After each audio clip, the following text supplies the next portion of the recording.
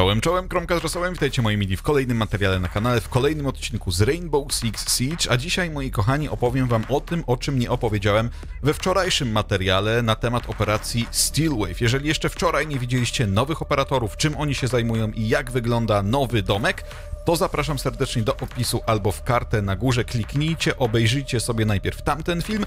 Natomiast dzisiaj opowiem Wam między innymi o nerfach naszych operatorek, czyli Zofii oraz Eli, o nerfie Echo, o tym, co myślę na temat nowego alarmu, co myślę na temat nowych operatorów, bo już troszkę nimi pograłem i dlaczego uważam, że rework domku nie jest specjalnie udany. Także moi drodzy, zachęcam do pozostawienia łapki w górę, bardzo dziękuję za wszystkie oceny, za komentarze, zapraszam do oglądania. Jeżeli chodzi o Ace'a, to wydaje mi się, że jest on w odpowiednim miejscu. To może być też taka alternatywa za Thermite'a. Wątpię, że za Hibanę, z uwagi mimo wszystko na jej lepszą użyteczność w konkretnych sytuacjach wyrzutni Kairos. Natomiast Ace również ma bardzo dobrą broń w moim mniemaniu, chociaż momentami trochę ją tam do góry tym recoilem podrzuca. Natomiast sam gadżet główny w ogólnym zamyśle też jest bardzo podobny do termitowego, bo robi mniej więcej taką samą dziurę, jednak wymaga mniejszego zachodu niż w przypadku Thermite'a do przepalania wzmacnianych ścian. Dlatego Ace wydaje mi się, że w tym miejscu, w którym aktualnie się znajduje, jest jak najbardziej ok. Natomiast Melusi, i tutaj z tą panią mam problem, bo o ile sama ona, jej szybkość, jej broń, no nie mam tutaj nic do gadania, o tyle Banshee czyli ten gadżet, który posiada, wydaje mi się, że przynajmniej na domku, na którym graliśmy, jest no za mocny. Generalnie radius promień, w jakim atakujący jest spowalniany, gdy zaczyna wchodzić w obręb działania gadżetu, jest moim zdaniem za duży. Wtedy w tym momencie atakujący, czyli jakikolwiek entry fragger, jest praktycznie bezsilny, bo nie może korzystać w ogóle ze swojej szybkości, czyli teoretycznie z głównego atutu. Do tego na domku, przynajmniej na tej mapie, na której graliśmy, ale może być to kwestia tego, że domek jest bardzo mały, nawet po reworku, praktycznie połowę całego piętra można skutecznie w cudzysłowie zasrać tymi banshee. Czyli rozkładasz jedno banshee, później tam, gdzie kończy się pierwsze banshee i efekt tego banshee, rozkładasz drugie i rozkładasz trzecie, bo tych banshee jest aż trzy.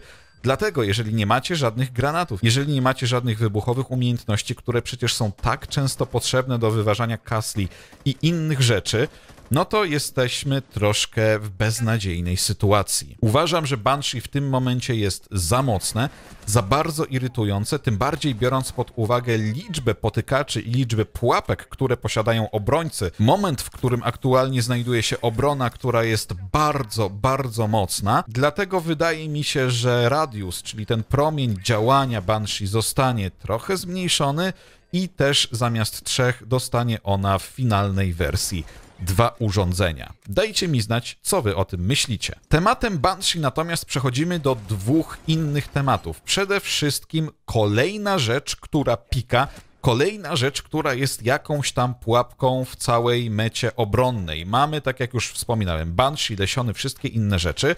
Wszystkie te rzeczy, które potrafią skutecznie przeciwdziałać, kontrować atak bez żadnej ingerencji obrońcy. To jest też bardzo ważne. Jeżeli mamy echo, no to jednak on na tym Jokaju musi być obecny. W momencie, w którym dodawany jest kolejny gadżet, czyli ta czujka, czyli to proximity alarm, wystarczy, że rozłożymy to w jakimkolwiek miejscu chcemy i odgłos, który ta czujka wydaje, niczym na kasie w Biedronce, potrafi skutecznie zaalarmować obrońców mniej więcej na dystansie 25-30 metrów.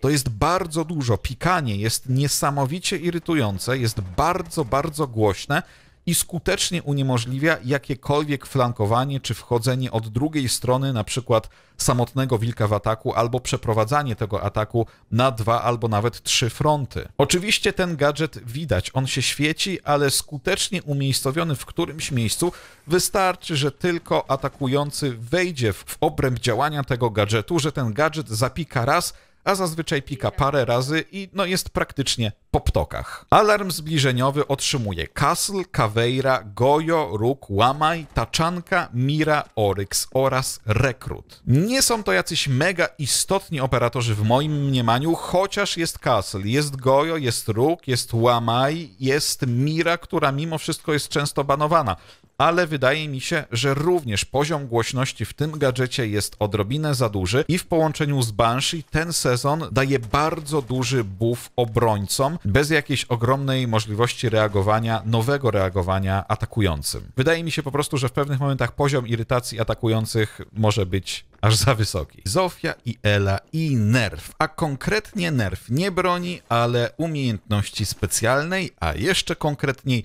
efektu, który dają zarówno grzmoty Eli, jak i miny ogłuszające Zofii. Co się stało? Usunięto modyfikację czułości myszki w chwili, gdy gracz pozostaje pod wpływem min grzmot i granatów ogłuszających KS-79, czyli mówiąc kolokwialnie, jeżeli wejdziecie w grzmota w minę Eli, to możecie swobodnie poruszać myszką na lewo i prawo, już ten ruch nie jest w żaden sposób spowalniany. Wydaje mi się również, że sam efekt jest odrobinę lżejszy, ten efekt ogłuszenia i bycia zdezorientowanym, ale wydaje mi się, że na to moje odczucie może mieć duży wpływ fakt, że po prostu ta myszka już nie jest spowolniona. Dlatego tak, a nie inaczej teraz to po prostu odczuwam. Deweloperzy zaznaczają, że funkcja tych operatorów, którą zmienili, powodowała ogromną, ciągłą frustrację, Dlatego też przynajmniej częściowo rozwiązanie tego problemu jest takie, a nie inne, nie zabierając konkretnego sensu tych gadżetów w ogóle, co też poniekąd przytrafiło się echo, o którym powiem za chwilkę. No jeżeli chodzi o mnie, moi drodzy, to jest to jak najbardziej fajna zmiana, która nie sprawia, że gadżety Eli oraz Zofii są w tym momencie totalnie nieużywalne. Już o tej Eli nie chcę za bardzo mówić, bo ona parokrotnie, a konkretnie jej broń tak naprawdę była wielokrotnie nerfiona, później poprawiana, ale zawsze to fajnie mimo wszystko mieć kontrolę nad swoim aimem, no bo w tym momencie praktycznie, gdy weszliśmy w taką minę, byliśmy bezbronni w pewnym momencie, gdy to ogłuszenie trwało. I ja to sobie czasem porównuję trochę do stanów, do tych ogłuszających, na przykład w Call of Duty Modern Warfare, czy w Warzone, kiedy dostanie się takim granatem na łeb, no to nie ma praktycznie możliwości obrócić myszką o 180 stopni, przez co automatycznie jesteśmy w bardzo, bardzo kiepskim położeniu. Mimo, że dotknęli nasze operatorki, mimo, że Polacy już nie są tak strong, to myślę, że ogólnie balansowo jest to bardzo dobra zmiana. Podobnie sytuacja tyczy się Echo, a konkretnie Yokaja Echo i to jest zmiana dosyć spora. Generalnie Echo w samym zamyśle jest idealnym operatorem do sprawiania, że ktoś przestaje plantować bombę. Bardzo często, wiele czasu można właśnie Yokajem ukraść, to raz, a po drugie bardzo często po prostu tą rundę można nim wygrać w odpowiednim momencie tym Yokajem strzelając. Co się zmieniło? Kiedy zostaniemy trafieni Jokajem aktualnie, to nie mamy takiego poczucia przesunięcia kamery pod wpływem uderzenia dźwiękowego, czyli tak samo jak Ela i Zofia, ten efekt jest podobny, trwa on 10 sekund, to jest bardzo ważne i nie ma żadnego wpływu z poruszaniem się gracza. Czyli jak kiedyś, jeżeli dostaliście echo, ale się położyliście, to szybciej ten efekt mijał. Aktualnie nie ma to żadnego wpływu, trwa on po prostu 10 sekund za każdym razem, ale dużą zmianą jest znowu to, że nie ma aż takiego chybotania. To chybotanie jest zdecydowanie mniejsze, w związku z czym dalej teoretycznie można w jakiś tam punkt celować, a sam sens Yokaja w dalszym ciągu został zachowany. Czyli dalej tarcza, jeżeli jest rozkładana, się składa, dalej, jeżeli podkładający podkłada pakę i dostanie jokajem, no to tej paki już nie podkłada. Sens pozostał ten sam i wydaje mi się, że ta zmiana nie sprawi, że echo będzie mniej używane. Niniejsze zmiany, jak mówią deweloperzy, powinny obniżyć poziom frustracji i pomóc nowym graczom w zrozumieniu efektu działania uderzenia dźwiękowego. Z pomniejszych zmian balansowych Kali dostała broń Clash zamiast P226 MK5, czyli pistoletu na broni bocznej, dostała teraz SPS MG9, czyli zwiększamy odrobinę moc Kali w takich bezpośrednich aimfightach na bliższy dystans, no bo jednak mimo wszystko ten jej karabin snajperski, gdy się strzelało, ma ogromną nietolerancję na błąd. Nomad dodano pistolet Capitao, czyli PRB-92, natomiast Kaid dostał rewolwer Żiżnu LFP 586. Dodano uchwyt kątowy Oryxowi do MP5 i teraz ważna rzecz, jeżeli będziecie przebijali się przez ścianę Oryxem, to nie zabiera wam 10 punktów zdrowia, tylko 5. W przypadku Wing zmniejszono ilość jej kandeli z 4 do 3. O Amaru już wam wspominałem, natomiast warto też zaznaczyć, że Alibi oraz Maestro zmieniono amunicję z ich shotgunów z loftek na breneki. Co to oznacza? Oznacza to zdecydowanie większy potencjał obrażeniowy, bo Wcześniej obrażenia maksymalne 27, teraz z uwagi na zmianę amunicji na breneki to jest już 41. No i moi drodzy, na koniec parę słów o nowej mapie. Moi kochani, mapa jest bardzo ładna, bardzo fajnie się na niej gra ale casualowo, nie rankedowo. Deweloperzy chyba gdzieś tam przyznali, że to jest raczej taki casual rework i że ta mapa nie trafi na rankedy. I mam nadzieję, że nie trafi na rankedy, bo w dalszym ciągu posiada ona, wydaje mi się, większość tych samych problemów, które posiadał stary, mniejszy domek. E, całość jest dalej klaustrofobiczna i o ile nie lubiłem nigdy dotychczasowych reworków z uwagi na to, że wszystko robiło się praktycznie takie samo i powstawały takie wielkie, ogromne, bezpłciowe kandahary, o tyle domek sam w sobie pozostał starym, dobrym domkiem, ale Wydaje mi się, że Poliworku po pierwsze nawet jest zdecydowanie więcej spawn pików niż było na, na starym domku, a po drugie mimo wszystko przez jego wielkość, czyli no naprawdę niewielki rozmiar, w dalszym ciągu człowiek się czuje jakby faktycznie grał na starym domku, mimo tego, że faktycznie dodali gdzieś tam to jedne skrzydło, to i tak e, nie jest to mega, mega przyjemne doświadczenie.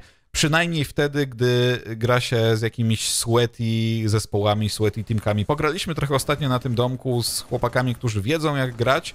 No i muszę wam powiedzieć, że po pierwsze była to bardzo nierówna walka w zależności od tego, czy bardziej ktoś preferował atak albo obronę. No i też side bezpośrednio graniczący, chociażby ten na dole z drzwiami e, od zewnętrza. Wydaje mi się, że to nie jest jakiś mega pomysł. No, mapa na dobrą mapę rankedową, moim zdaniem jest, no aż się dziwię, że to mówię, ale po prostu za mała. Ale na jakiś taki casualik, czy na jakieś takie fajne granie, wydaje mi się, że jest jak najbardziej ok. W dalszym ciągu jest to chyba najmniejsza, tak mi się wydaje, mapa w grze. Także moi drodzy, to wszystko, co mam wam dzisiaj do powiedzenia. Dajcie mi znać, z czym się zgadzacie, z czym się nie zgadzacie. Pamiętajcie, Kromka Gada radzi nigdy was nie zdradzi. Zapraszam do komentowania, oceniania, subskrybowania i do usłyszenia w następnych materiałach. Trzymajcie się. Pa, pa.